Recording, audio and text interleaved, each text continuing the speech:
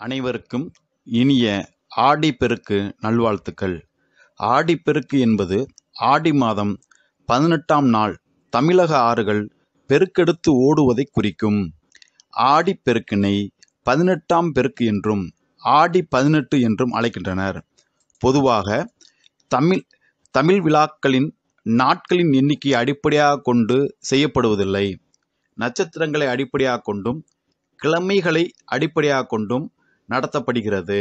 ஆடி மாதத்தில் பதினெட்டாவது நாள் என்று நாளின் எண்ணிக்கையை கணக்கில் கொண்டு நடத்தப்படும் ஒரே விழா ஆடிப்பெருக்குதான்.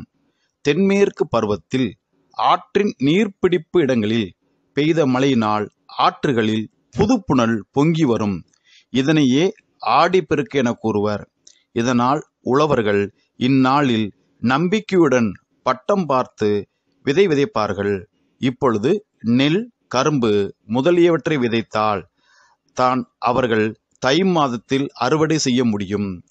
அதற்கு பற்றாத நதிகளை தங்கள் தெய்வமாக போற்றி மகிழ்ந்து பூசைகள் செய்து பின் உழவு தொழிலை தொடங்குவார்கள். இதனையொட்டியே ஆடிப்பட்டம் தேடி விதை என்ற பழமொழியும் விளைந்தது.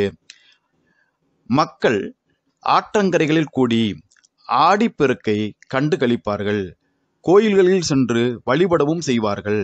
அன்றைய நாள் பெண்கள் ஆற்றில் குளித்து ஆற்றங்கரையில் ஒவ்வொருவரும் பூசை செய்து ஒரு இடத்தை பிடித்துக் கொள்கின்றனர். அந்த இடத்தை சுத்தம் செய்து பசு சாணத்தால் மெழுகி அதன் மேல் வாழை இலையை விரித்து அகல் விளக்கு ஏற்றி வைக்கின்றனர்.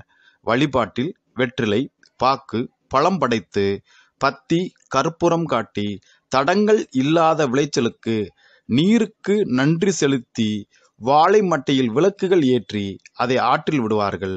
அது மட்டுமல்லாமல் தங்கள் வீட்டில் பலவிதமான கலப்பு சாதங்கள் அதாவது தேங்காய் சாதம் சர்க்கரை பொங்கல் எலுமிச்சம்பழம் தக்காளி சாதம் தயிர் சாதம் போன்ற கலப்பு சாதங்களை செய்து அதை ஏதாவது ஆற்றங்கரையில் வைத்து குடும்பத்துடனும் நண்பர்களுடனும் சேர்ந்து குதூகூலமாக உணவை சாப்பிடுவார்கள்.